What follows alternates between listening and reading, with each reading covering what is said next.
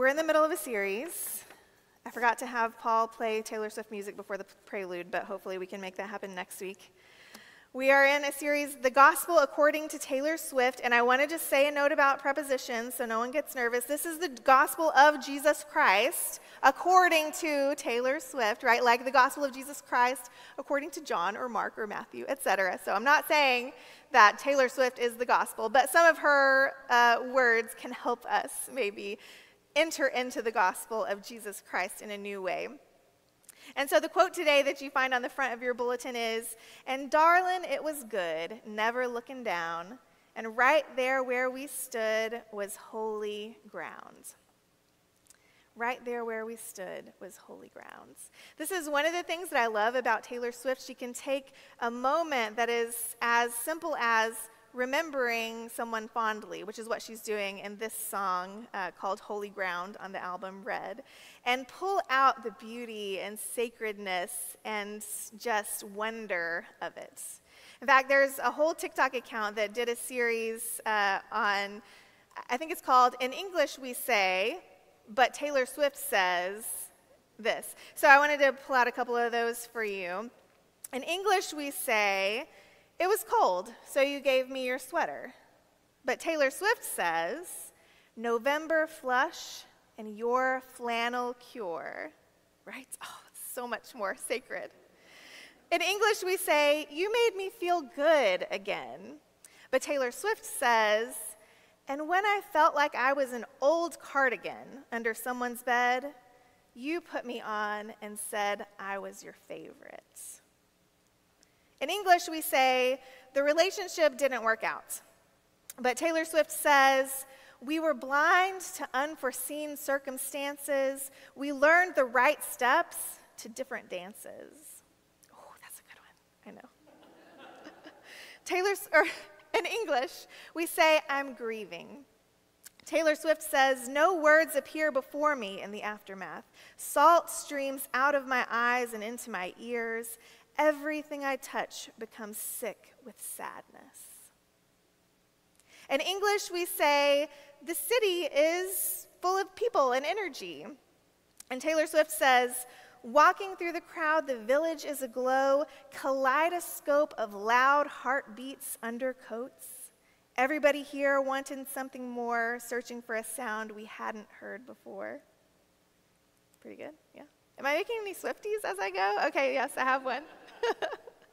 Taylor's, in English, we say, I don't trust her. I don't trust them. Taylor Swift says, I bury hatchets, but I keep maps of where I put them. in English, we say, You broke my heart. Taylor Swift says, I would have died for your sins. Instead, I just died inside. And you deserve prison, but you won't get time. Back to our original song that our quote comes from. In English, we say, I was thinking fondly of you. Taylor Swift says, I was reminiscing back to a first glance feeling on New York time, back when you fit into my poems like a perfect rhyme. Beautiful, right? And I know, I know, it's not just Taylor Swift that does this, right? I know Bruce Springsteen, Bob Dylan, Beyonce, we could go on and on. But there's something about whoever your favorite artist is that can take something really ordinary and pull out the holiness of it. You know what I'm talking about? Anybody want to shout out a favorite artist that does that for you? I don't want to hog the whole time for Taylor. Anybody? Okay, well, we'll hog. Oh, Mick Jagger. Okay, okay, yeah, okay. Yeah, seriously. Good. Well, thank you for not booing uh, my Taylor Swift quotes today. yeah, poetry, no matter who it comes from, maybe it's a, or, or even art or narrative, can help us see the beauty and sacredness of the ordinary, right? That right where we stood was holy ground. And I think uh, Taylor knows that, and so does Moses in our story today, and so does our poet who tells the narrative of Scripture, right?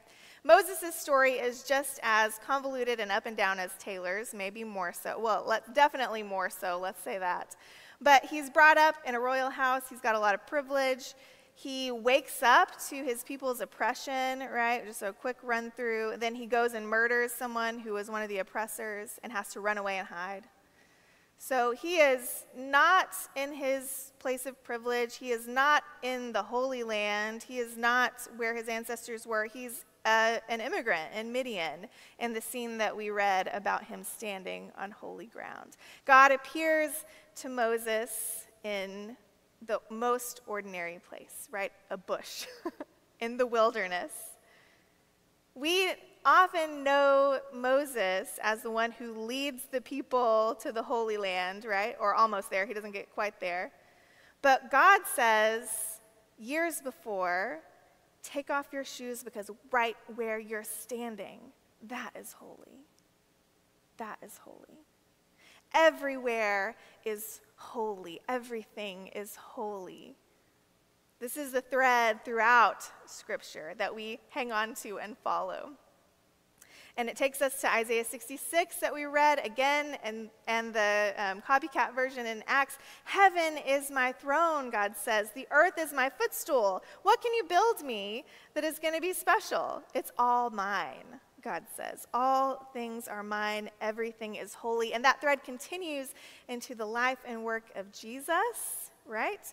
Who does most of his ministry outside of the holy religious places, right? Outside of the bounds of the holy religious people. No religious paraphernalia required, and it continues on into the church, the early church with Stephen and Peter and all of those disciples figuring out nothing is unclean, no one is unclean.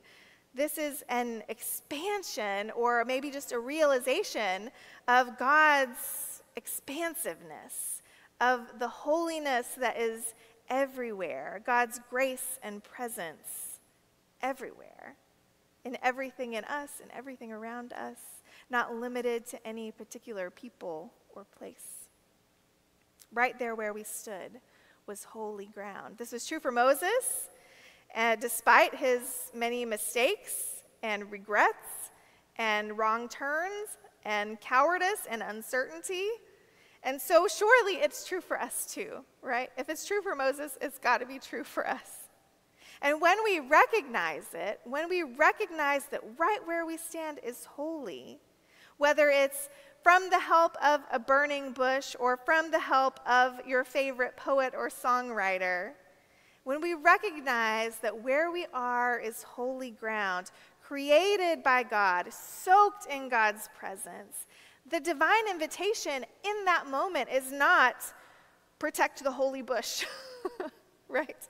It's not get it sanctified by a religious professional or even go out and take the world for God.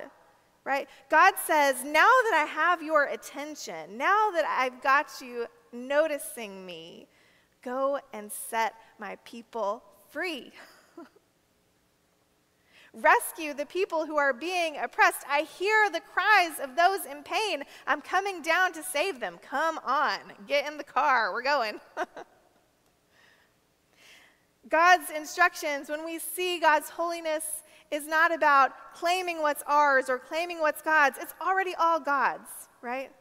God's instructions, God's invitation is not about claiming something, it's about freeing people. Always. Always.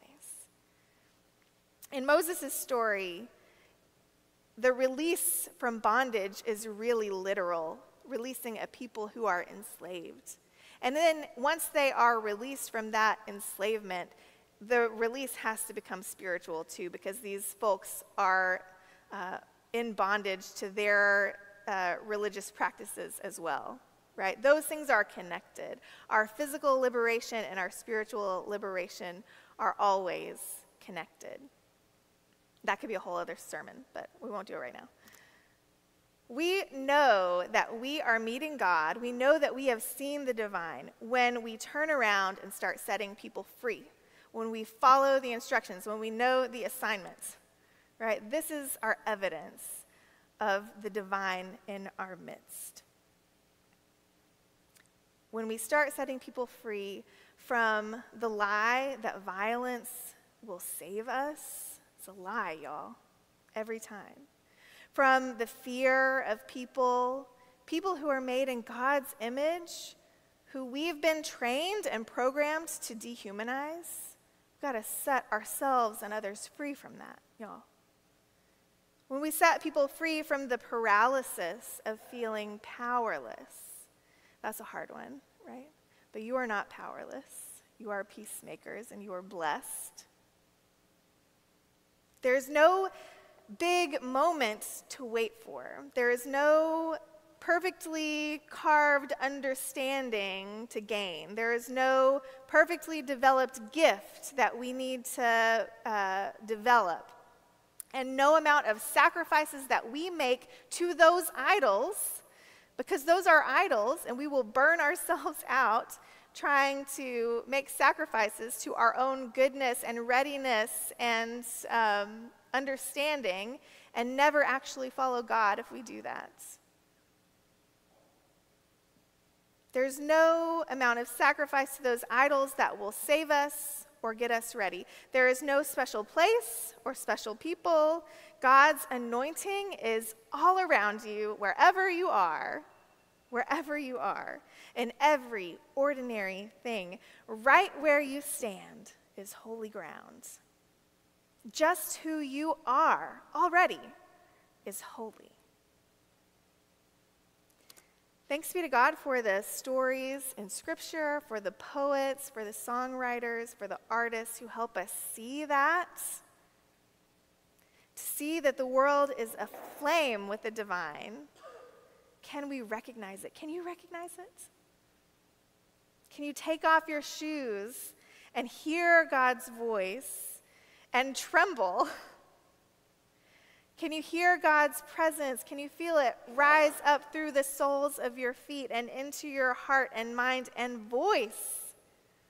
You're ready. Freeing you and your own mind and heart to free others. Can you feel it claiming you and all the earth as holy?